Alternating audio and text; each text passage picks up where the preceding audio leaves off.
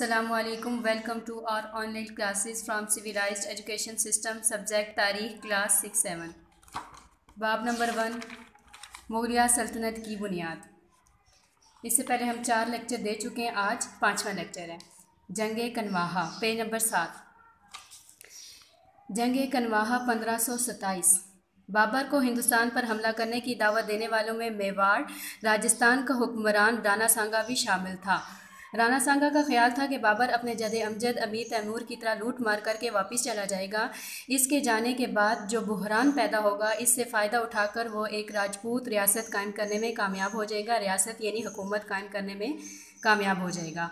बाबर के हिंदुस्तान में मुस्तकिल क़याम करने के फ़ैसले से राना सांगा को अपने अज़ाइम यानी अपने इरादे पूरे होते हुए नज़र ना आए तो इसने बाबर को हिंदुस्तान से निकालने का फ़ैसला किया।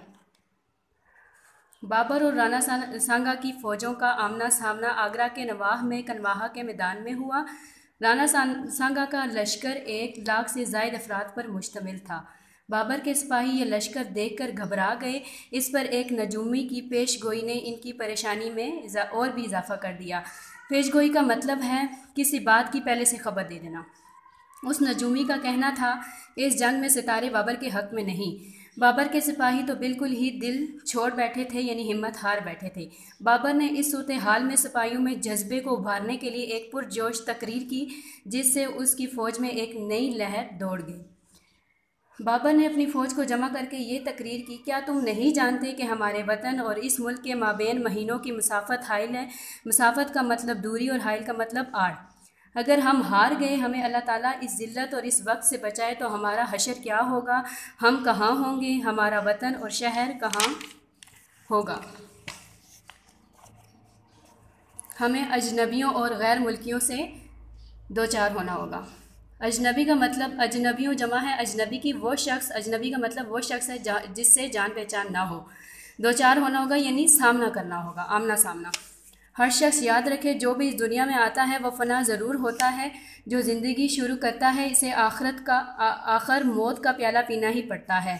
शानदार मौत ज़िल्लत और बदनामी की ज़िंदगी से बेहतर है। इसलिए बेहतर यही है कि हम हम में से हर शख्स अपने सामने दो मुतबादिल रख ले। एक ये कि वो सिर्फ़ खुदा की राह में लड़ेगा, फतह पाएगा और गाजी कहलाएगा, वरना लड़ते लड़ते मर जाएगा और शहादत का दर्जा हासिल करेगा। यही दो बातें हमारी बहबूद, यानी हमारी भलाई की जामिन हैं। इस तकरीर से फ़ौज में जोश और जज्बा मुकम्मल तौर पर बहाल हो गया, यानी बरकरार हो गया। सब सबने मिलकर अहद किया, यानी वादा किया, कुरान मजीद की कसम खाई के आखिरी दम तक दुश्मन का मुकाबला करेंगे। जंग की तैयारियाँ मुकम्मल हो गईं, बाबर की इस जंग में हमत अमली कमोवेश पानीपत जैसी थी।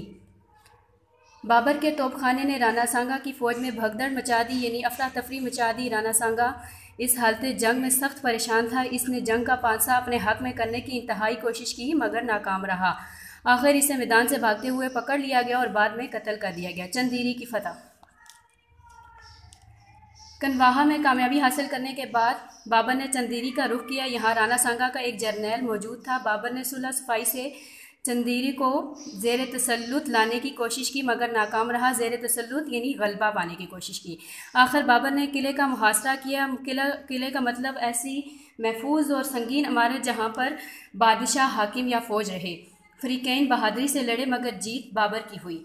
पानीपत और जंग खागरा में शिकस्त के बाद अफ़गानों ने बहार और बंगाल में भी अपनी सियासी और फौजी सरगर्मियाँ तेज़ कर दी थीं।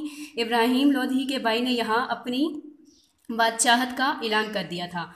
बाबर ने इसको खागरा के मुकाम पर शिकस्त दी। बाबर का इंतकाल 1530 बाबर ने एक तवील जदोजहद के बाद अपना इकतदार कायम किया, यानी अपनी हुकूमत कायम की। इसे इसे सुख का सांस मिला ही था कि वो 1530 में अपने हाल ही के हकीकी से जा मिला, यानी 1500 हकीकी में वो इंतकाल कर लिया इंतकाल कर गया। इसके बाद हम नेक्स्ट लेक्चर नेक्स्ट लेक्चर हम कर देंगे इन अल्लाह हाफिज़।